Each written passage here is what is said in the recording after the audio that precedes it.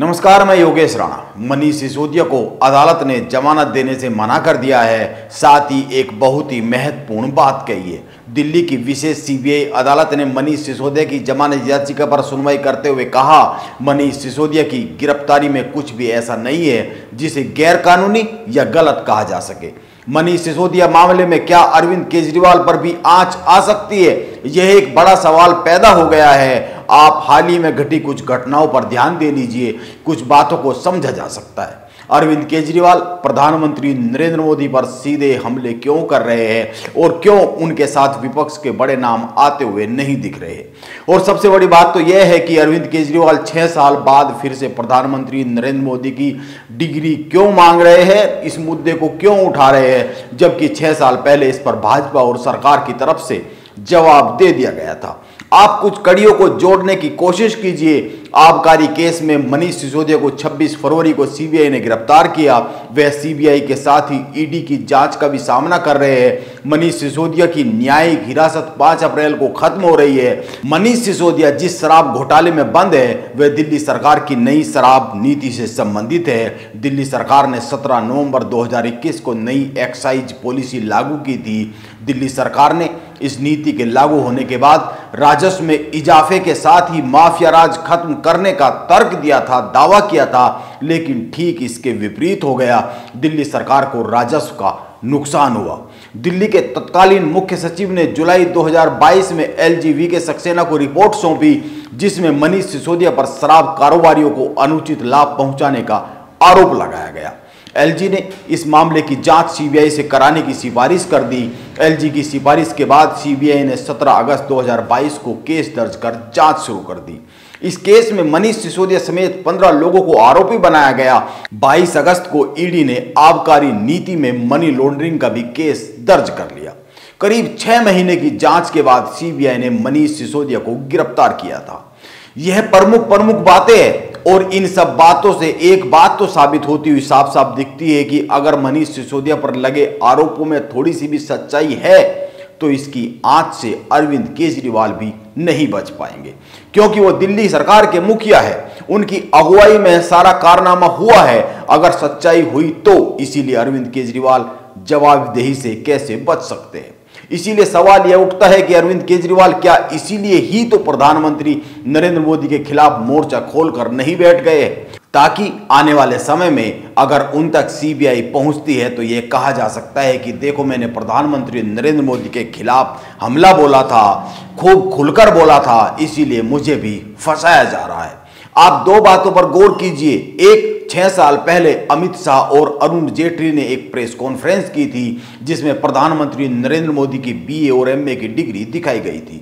यह सार्वजनिक press conference थी, इसीलिए क्या उस समय के देश के कानून मंत्री और उस समय भाजपा के प्रदेश अध्यक्ष रहे अमित शाह कोई फर्जी डिग्री पत्रकारों के सामने इतनी खुलेआम पेश कर सकते? और अगर वो डिग्री फर्जी होती तो? क्या इन छह सालों में इस पर हल्ला नहीं मच गया होता? नरेंद्र मोदी का विरोध करने वाले इस देश में बहुत से लोग हैं, विदेशों तक में बहुत से लोग हैं, और मैं तो कहता हूँ कि नरेंद्र मोदी का विरोध करने वाले इन लोगों में बहुत से लोग तो बहुत ही ताकतवर लोग भी है। इसीलिए क्या इन छह सालों में इन दस्तावेजों की जाँच पड़ताल नहीं की गई होगी? अगर प्रधानमंत्री नरेंद्र मोदी की डिग्री फर्जी होती तो अब तक तो बहुत सारे कानूनी वाद सामने आ चुके होते हो, हो चुके होते। अभी तक तो बहुत सारा हल्ला हो चुका होता। कई सारे लोग तो सार्वजनिक तौर पर प्रेस कॉन्फ्रेंस कर रहे होते धरने प्रदर्शन तक हो गए होते।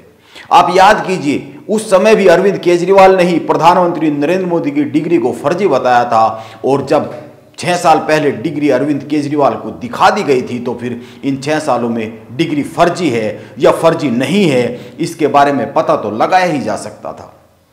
यह तो हुई एक बात। अब दूसरी बात पर आते अरविंद केजरीवाल ने प्रधानमंत्री नरेंद्र मोदी पर कम पढ़ा लिखा होने के साथ साथ एक और हमला बोला है। उन्होंने कहा है कि प्रधानमंत्री का पैसा अड़ानी के यहाँ पर लगा हुआ है। यह बहुत ही गंभीर आरोप है।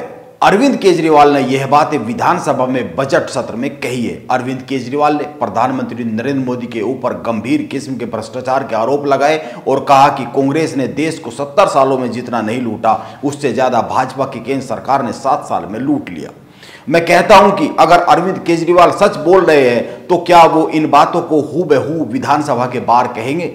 यह एक बड़ा सवाल है।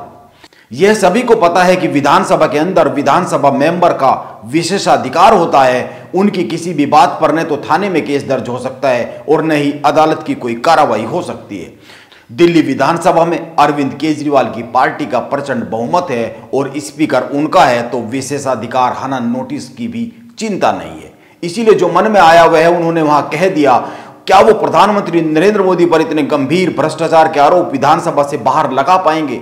यह सवाल मैं फिर इसीलिए कर रहा हूँ क्योंकि उन पर अगर उनके आरोपों में सच्चाई नहीं है तो उन पर मानहानि का मामला दर्ज हो सकता है। और मानहानि के मामले में ही तो राहुल गांधी बुरी तरीके से फंसे हुए दिख रहे हैं। और आप याद कर लीजिए, केजरीवाल ने अरुण जेटली पर भ्रष्टाचार के आरोप लगाए थे।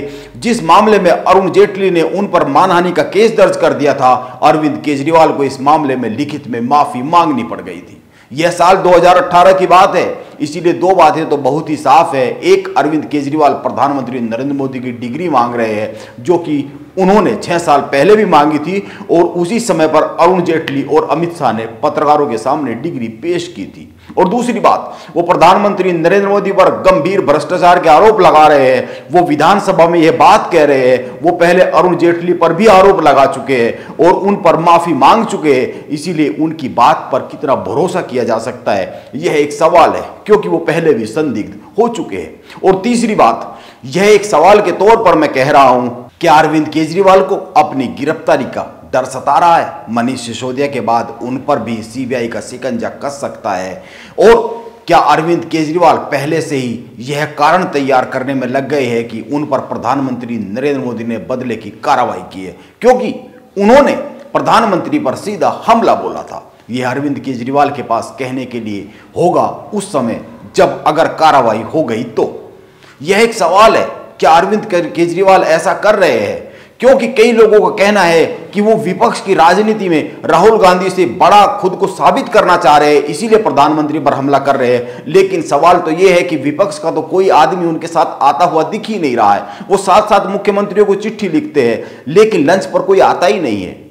अब सच क्या है, यह तो बहुत जल्द सामने आ ही जाने वाला है, क्योंकि पहली बात लोकसभा चुनाव अब बहुत ज़्यादा दूर बचे नहीं है, और दूसरी बात, जैसा कि मैंने कहा, विपक्ष से कोई भी केजरीवाल के साथ आता हुआ दिख नहीं रहा है। इसीलिए थोड़ा इंतज़ार तो करना ही चाहिए। नमस्कार, मैं योगेश राणा, आप बन रहे मेरे साथ।